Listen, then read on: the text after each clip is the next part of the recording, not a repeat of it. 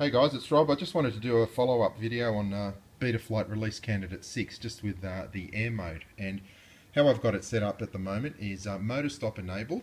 I've got an idle up switch here. When I move it to the middle position that's just idle up so the motors will start once the board is armed and if I move it further up it's got idle up and air mode enabled. So what I notice is that when I just move the quad around with the motors running when it's in idle up, you can feel the flight controller resisting the movement or, or trying to stabilize.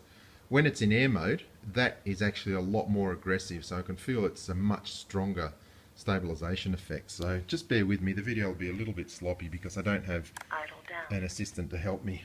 So I've just got two hands, but I'll do the best I can. So we've got the quad in my left hand, we'll just arm and enable idle up. So this is idle up only. If I move the quad, I can feel that it is trying to uh, stabilize and correct the movement. We'll just put air mode on.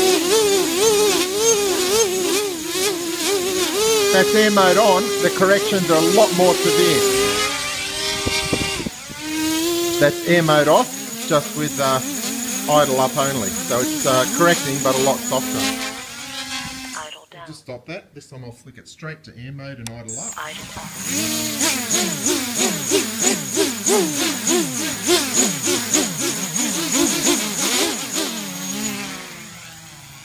Idle down.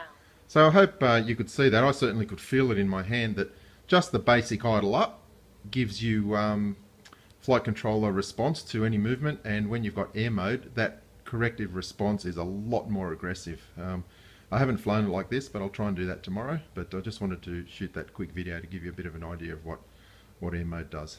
Thanks for watching.